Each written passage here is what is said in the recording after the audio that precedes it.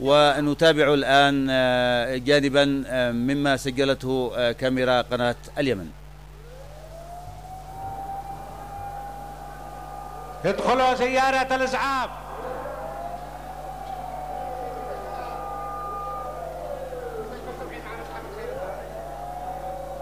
ندين نستنكر هذا العمل الإجرامي المجزرة وكنا في واقفين في ال- في الأرض العسكرية في استعداد آه، مستعدين لل- للمرحلة الثانية من اللف فأسمعنا الله انفجار قوي ما شفنا الا الدماء والأرجل بالطائر والأيدي والذا في السماء كلها.